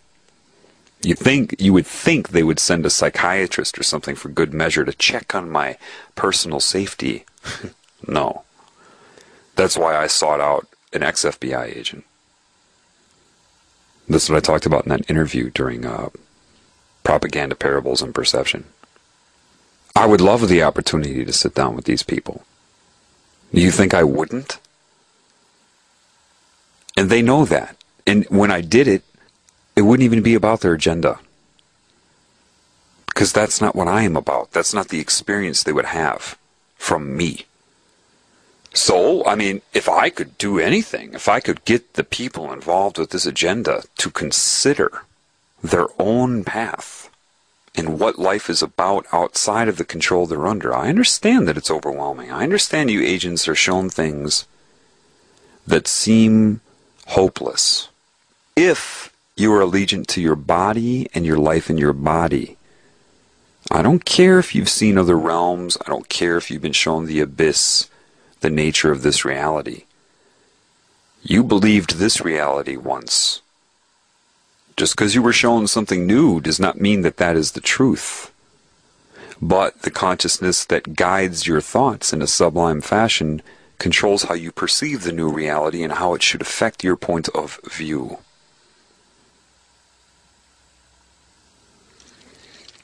You see, anybody that has their veil lifted this way are buffered from society.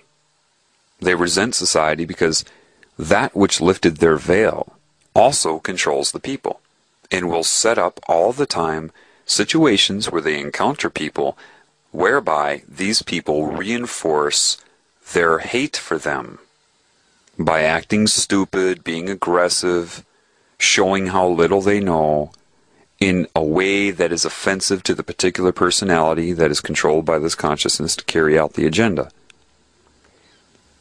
Making them not want to help, extend patience, or anything, but actually resent the people because they magically forget that that which is giving them knowledge is the one making those people act the way that is offending them. See, they're not seeing the whole picture. You talk about an entity, and so an entity is giving you knowledge, and then you come into contact with people that seem very stupid to you once you know certain things. And they'll say things that just happen to irritate you and make you want to shake your head at them. You never take a moment to think, wait a minute, I hate these people. Why do I hate them? Well, they're stupid. What made them stupid? Oh, yeah, the same thing that lifted your veil. You got to trust me on this. To maintain secrecy, threats are not enough. They have to make the person hate the quote sheep. Do you understand? They coordinated that well. These people try to do that to me all of the time. Those that have listened to all of my uploads so far will understand what I'm about to say. Those that just started listening to this will not.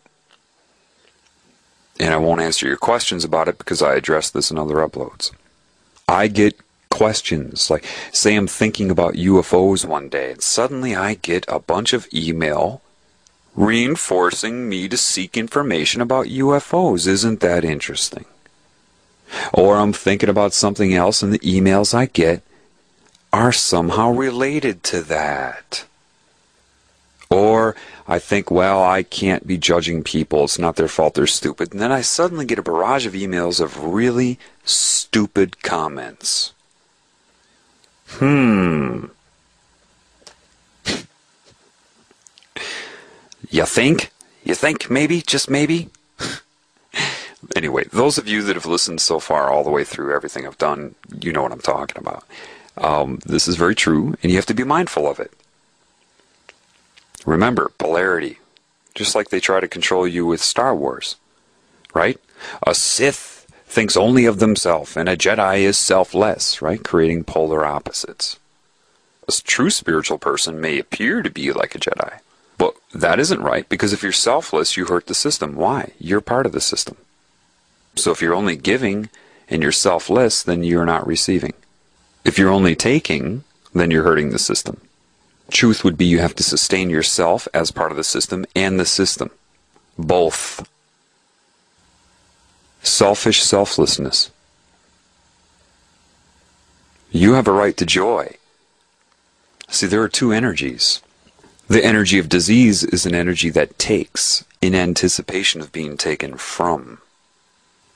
The energy of health or normality would be giving, knowing that you receive, two very different energies. One's pathogenic, one is diseased, one is normal.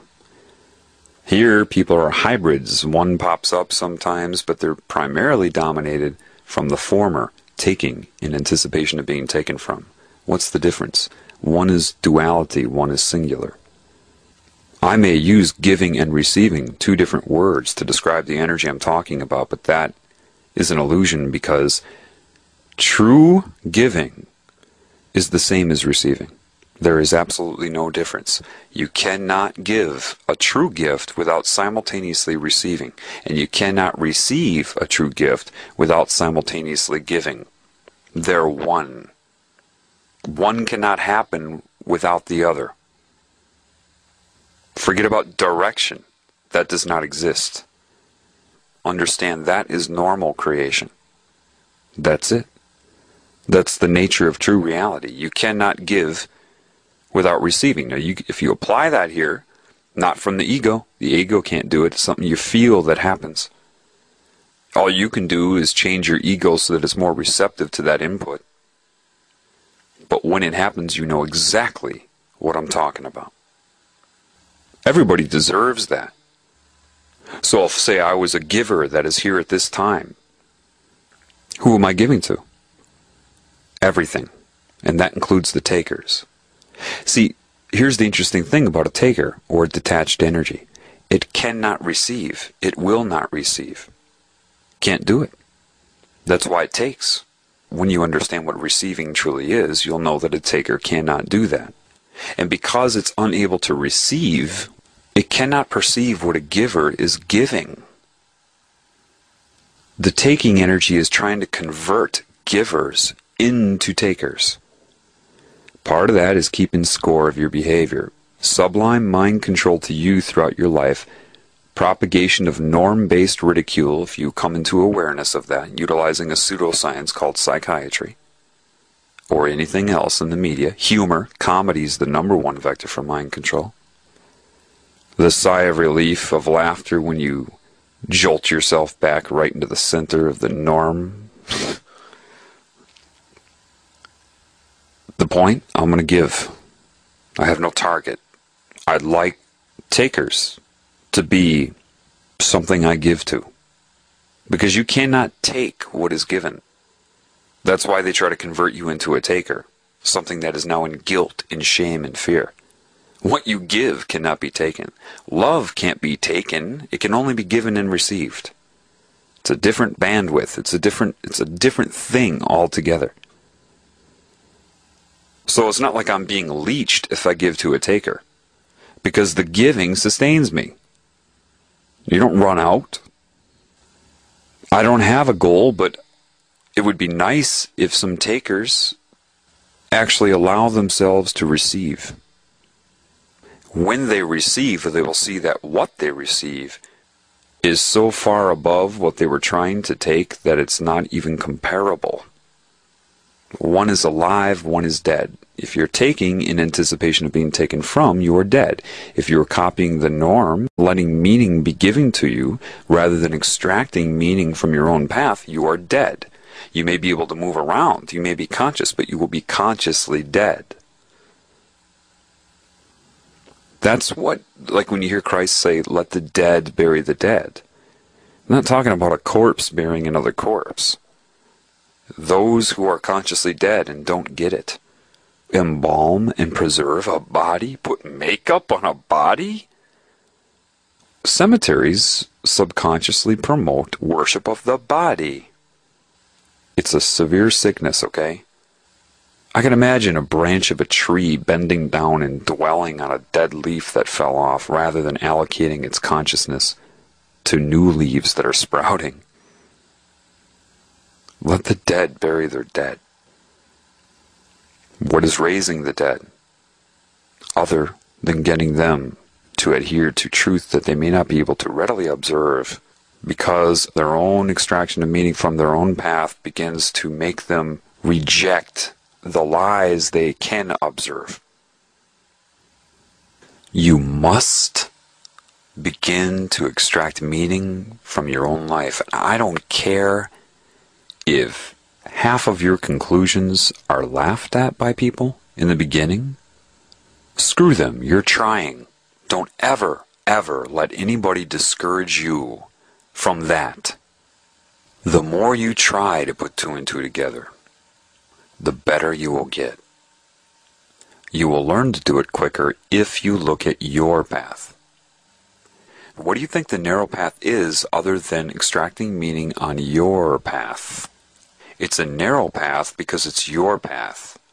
As soon as you get sucked into another's path, you're on the broad path, and that can come in many shapes and sizes from sex and drugs and propaganda and all kinds of things to distract you away from extracting and learning from your own path. I'm talking about observance. Maybe you're an artist and you've painted several paintings. You've put them away somewhere. Go back to them and look at them again. Look at journals you wrote 10 years ago. It's all right there. It's all right in front of your face. This does not mean to ignore your reality, as your reality is part of your path. You'll find that when you, I should call it give receive, re-give. It's one thing, but when you give and receive, you'll find that's where you feel alive. Guys, maybe you're socializing and you see a girl that you're sexually attracted to, and you could go along the path of trying to persuade her to see you as sexy and to consider hanging out with you, getting her to do something. In other words, taking. But if you stop that, if you're on that wave, jump off the surfboard and ask yourself, what does she need? I'm a guy, I know how guys manipulate. Would it help her spirit if I actually took the time to listen without any strings? What if I did that? What if I actually gave her eye contact and let her know, hey, not all guys are bad. You don't have to have sex if you don't want to. Don't ever let anyone put you into a state of feeling guilty because you won't put out. Having sex is only stimulation of the body, which is chemical. It's a detached drug. Remind them what's the difference between having sex and making love. Having sex is body worship. It's a stimulus of the nervous system. It means nothing. It's to reach a chemical high. Making love is where you try to stimulate the spirit inside of the body. What if you actually used your intuition for something good? What if you saw that maybe she's attractive and gets hit on all the time. And all she really wants is some sort of authenticity because it's so lacking in this world. What if you thought about that and then followed through, sat there for a half an hour, and don't fake listen to her? Be direct with your thoughts. As long as they're giving, it'll be okay. See, a lot of people think that being blunt and direct means you're being honest. Just because you say what you're thinking doesn't make you honest. Why? Because what if what you're thinking is a conclusion that you reached because you were in denial? You were filtering your reality. You're basing your conclusion on lies, whether you know it or not. It's a faulty conclusion. Therefore, it is a lie. It's a lie to your spirit. Just because you're thinking it and you say it doesn't make you honest. But if you're in the state of giving, knowing that she is a valuable being. Forget about the sex and just think about that. Pretend she's your sister, guys. Or your mother, that you went back in time, and this is your mother when she was young. How would you treat her then? And then follow through. After a half an hour of advice, say, Nice meeting you, and walk away. No, hey, can I get your number? Even if she asks you for it. You don't need to create a relationship. There are 7 billion people on this planet. You're already in relationship by being alive. Giving has no strings. Men, listen to me. Walk away with a smile. Don't do it robotically. Don't try to copy the behavior. Have the correct intention. As you walk away, you've given the greatest gift wow, that guy didn't want anything from me, then you'll see it's not a taking energy and you've just raised her spirit. Do you hear what I'm saying to you? Now, remember, I said you cannot give without receiving. If you do something like that, and don't go seek out a girl, this is one scenario. There are many ways to give to many different types of people. Please do not be mechanical and robotic and like a cyborg as you hear me give you a scenario. After you give like that, when you walk away, take note of how you feel. How bright is the sky? How colorful are the leaves on trees? How beautiful do the birds sound now? You cannot give without receiving. And then I want you to ask yourself, What if I took my normal approach? What if I tried to act cool? What if I was strategic about things I said in anticipation of how she would perceive me when I said them to shape how she views me? What if I lived a lie? What if I tried to take advantage of the situation because I wanted a date? Would I feel, and be honest with yourself here, would the birds sound as beautiful to me right now? Would I notice what I'm noticing right now? Do not try to think about what I'm saying right now because you cannot. You cannot imagine it. You cannot recreate it. This is something that has to happen. You have to follow the path. Then and only then will you be able to take note of how you feel. Don't try to anticipate how you're going to feel because you can't. I'm just telling you that after you give in any way, a true gift has no strings, has no motive, isn't premeditated, isn't calculated in the brain. It happens. Why will it happen? Because if you're in the state of love and wanting to know thyself, you will be positioned into a situation that will allow you to do it. I am absolutely 100% sure and certain about that. Don't ask me how, just trust me. In other words, you don't have to seek out the situation. Do you hear me? If you truly want to know yourself, I promise you, you will be put into a situation where you will be allowed to give. You will not be forced to give. You will have your free will because that which will put you in that position extends free will. Do you hear me? You must understand step by step rehabilitation. If you want to know thyself, part of knowing thyself is giving, because what you truly are is a giver, whether you can remember that or not. If you intend to know yourself, which is a derivative of God, before you can know God, you have to know yourself. They're one and the same. You will be put into a position, all day long if necessary, where you can give. If the next day you rebel from that and want to take, you'll create a position where you can take. You create the cancer, love will create the healing. The template is the same. What you experience in this template is not. And be mindful of that. If you want to know of God, the more you do that, the more that you're going to find that you're put into these positions. What's doing that? And once you start to learn and extract meaning from these situations, when that salient event happens, you cry. When you know God, you'll know God. and you cannot be told how you're going to know God. And that's individual for each of you. You can't know God by hearing me. All you're hearing is an expression because of God. I want to finish up by talking about this give thing, this give and take thing. Like I talked about before, a taker is a detached energy, it is a disease.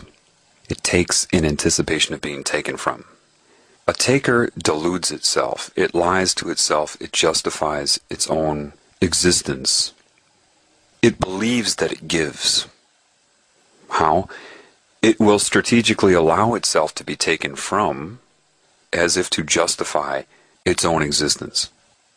You must understand giving and taking, giving and taking. Remember, these are not a pair. Giving and receiving are one. Giving, receiving. Give, receive. Taking in anticipation of being taken from. For example, let's talk about just energy. Think about an extrovert. People are deluding themselves when they think an extrovert is a giver, they're an entertainer. No. They leech your energy. An extrovert, a social butterfly, needs to suck your energy out. They drain you, and that's what gives them their vitality. This is why a lot of rock stars are really quiet until they get on stage. They're sucking your energy. It's your energy that's animating them. They're addicted to social situations because they're dependent, like leeches, upon the attention that other people give them. Attention is giving energy. In introverts is the opposite. They are vulnerable, more vulnerable than the normal person, to having their energy leached from them. They get into a social situation and they feel their energy just leaving their body. They may not understand it that way, but because they're so attentive to everybody and everything, that's why these people are very descriptive writers and whatever. Because they're very detail oriented, they're very attentive. Because of that, they get overwhelmed in a social situation. They're way too sensitive to it. They are attentive to everything, and because their energy leaves them when they're that way, because they're not in observance, they're attentive, they're it, it, the reality can take their energy away, and that weakens their aura, and then they're very sensitive. They feel out of place. They don't. They're they're just too awkward because they're having their energy taken. An ambivert is somebody who toggles between the two, depending on their current state and the situation. Now, most of my life I was an ambivert. But when I feel the spirit strong, in me when that happens, that's when I am not leached and I am not leeching. My passion will be the same. My vitality, my energy, my emphasis is the same whether I'm talking to one individual or 500,000. It wouldn't matter because the energy at that point is coming from somewhere else. Infused inside, so coming within. I can relate to takers because I was converted to a taker in a lot of ways in this lifetime. And that's very important. Why? You've heard, uh, he who overcomes. I'm not going to speak in old English. What you were told is he or she, they always emphasize male, that overcomes, their reward will be great. Those with understanding. See, a taker thinks of a reward is something that happens later. A good deed and reward. Sit, roll over, and you get a treat. For those of you that are waking up to your giving, as I am, and that is a slow process where you start to remember that you enjoy giving more, and that's where life is. That's the essence, the unquantifiable essence. Ask yourself some questions. When you're in the state of giving, you receive simultaneously. There are many of you that know what I'm talking about. So your reward is simultaneous. What is that reward? Describe it. yeah, good luck with words. Secondly, say for example, maybe you were somebody that is here at this time to heal what is the motive of a lifeguard when they jump into the water to save a swimmer? What is the reward that the lifeguard gets? Let's not even do a professional lifeguard. You're walking along the side of a river and you see someone in trouble. Without even thinking about it, you're already jumping in the water to save them. What is your reward?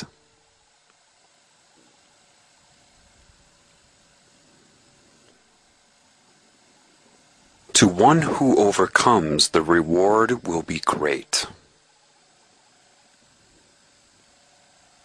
If you come in as a healer and you acquire the corruption, they know you're a healer, you have a different uh, energy about you, so they're on your butt. The moment you incarnate, your life sucks. Everything's coordinated around you. Low self esteem, probably abused as a kid. Uh, you have perversion, maybe addictions, all these things. However, now you can relate, can't you? You can relate to the taking energy. It's just like somebody who's sheltered and mom and dad keep the kids spoiled. They get everything they want. They have an easy life and they decide to study sociology and psychology. And they think what a great thing it would be to become a guidance counselor and help troubled teens The problem that they run into that they're completely oblivious to, but the young teen is not oblivious to, is that they have no credibility with the teenager. The teenager knows right away that whoever is trying to give them advice doesn't understand. They didn't go through it themselves. They didn't overcome anything. They are not qualified to give advice. They can't relate to them. They don't know what it's like. They're just not qualified to give advice. And you know that. You know that if you're looking at the prissy counselor that has had everything handed to them, you can't take them seriously. You resent any advice they give you because you know that they probably wouldn't be able to handle what you've already gone through. And it's a direct paradox, it's a contradiction. Well, if you come in and you acquire unknowingly, which is why it's credible, and then you overcome while being able to relate. Because as you overcome, as you begin the process of overcoming, that usually precedes knowing of any negative control on this planet. It certainly did for me. I wasn't a conspiracy theorist, like I told you before. I had no idea. I thought that was myth. I thought that was a joke. But it was essential that I wanted to repair myself before I knew what was around me. For me, for my path. It's important because my motive came from within me. Then I was shown, but the interesting thing is, as I go through this process, that, okay, at least I understand what it feels like to be a taker, to have those desires. I may not be as intellectual or have the mental capacity as the scales higher than me that are running this show. However, the energy is the same. I can relate to it, and if I overcome it, I am credible. The same way that a troubled teen would be credible if they became a guidance counselor. The same way that Robin Williams was credible to Will in Good Will Hunting. It's almost identical. Relating is so important. Even though they still try to entice me and corrupt me and hurt me, well, that's expected, isn't it? I mean, if you go up to a drug addict and tell them to quit, they're going to hate you. And they're going to try to justify their addiction. Then they're going to try to offer it to you. If that doesn't work, if the fight doesn't work and hurting you doesn't work, they're going to try to get you to do it. Doesn't the alcoholic always want to pour you a drink? Misery loves company. Why? They're trying to justify their condition because they're frightened. They're frightened of the unknown, which is why they use the unknown to scare givers. Givers are in a situation of amnesia. Taking uses fear and threats of the unknown to scare givers. If I were to give you one certainty in all existence, I would tell you this. Never, anywhere, anywhen, should a taking consciousness be in control of a giving consciousness. And if that happens, that is certainly a state of disease regardless of scale. It is disease. One who overcomes will have a reward that is great. What reward do you think that is? If you're a guy, what is it? You think you're going to get a pretty girl in the afterlife? A virgin? What's motivating you now if you're a giver? The physical world? Is that what gives you your passion? That may be equated with pleasure in a polarized state of being, to detach from pain. But what gives you that passion, like I was talking about, where you're in that state that you would have the same enthusiasm whether you were talking to one person or 500,000? Someone's looks? Getting laid?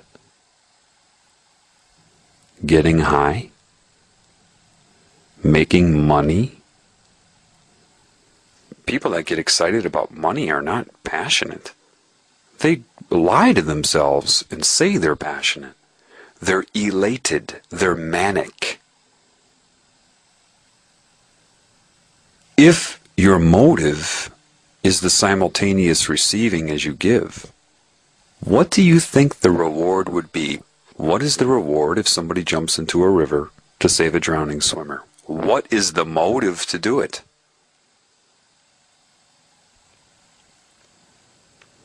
If you have a friend who's a drug addict and you try to help them, what would your reward be if you overcame the problem?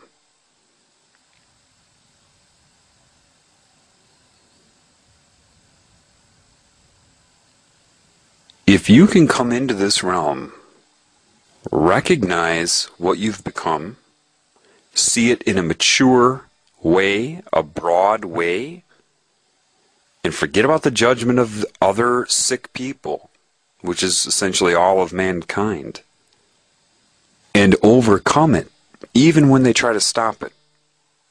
Blackmail, social persecution, pain. If you overcome that, what's your reward? Why'd you come here? Why are you here? Why is the Spirit doing what it's doing? Why? Why does a giver give? What is your reward? Jewels? You can have a Porsche in heaven? What? Money? You're going to be rich in heaven? Food? What? What is it you think heaven is? What is it that you think is going to be a reward? Bow down and receive your reward. And they open the box. What's in there?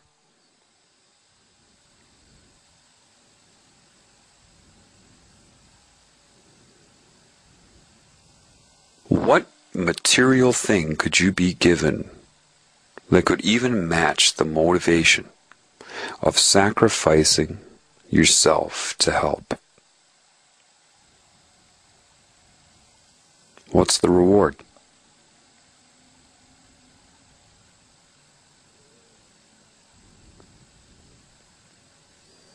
Why make a sacrifice? Why did Christ sacrifice himself? They didn't sacrifice him, and it certainly wasn't to please some deity, like it's sold to certain groups. They can justify the story and, and believe the lie all they want. Why would anyone do that? What was the sacrifice? When you say, I've made a sacrifice today, I sacrificed my time, I sacrificed this and your motive can't really be traced to the ego, why would you do it? What do you think? Christ was concerned with the opinion of human beings? Who do you think he was trying to motivate?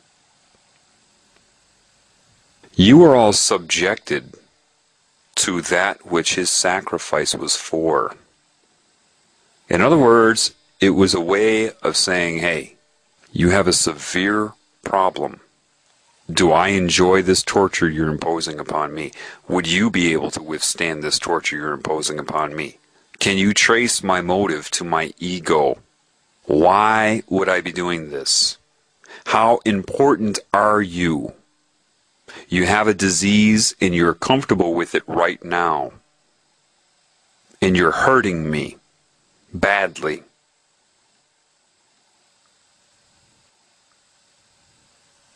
How important do you think this is? Now, if you're still in a taking energy, you don't care any more about that than a mosquito cares about hurting you. You don't even consider it. So, what would the return of Christ be? What, do you think that man and that personality is going to return, do something, smack you all up, give you a big spanking? What? How about the realization from within what the value of life is? And when you truly know what the value of life is, you will know that it is irrelevant of scale. Therefore, one being is as important as the whole. When it is realized, what that man actually did and any like him that did the same thing. And why? Why? When the taker finally realizes and receives that gift, the gift is timeless. When it receives the gift, forgiveness is the wrong word, except if you really look at the word. For I give. When a taker receives, it is also a giver. When it's on that wavelength, it has knowledge. When it has that knowledge, it understands.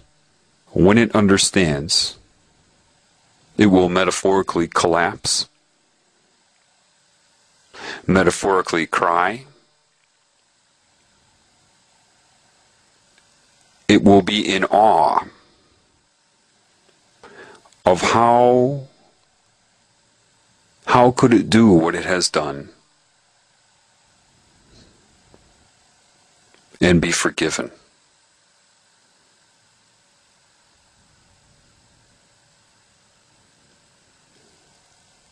What in the world has that type of capacity?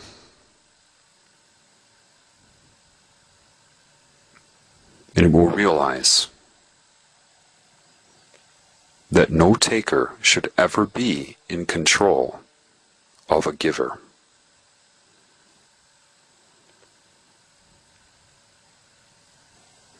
That's enough for now. Thanks for listening.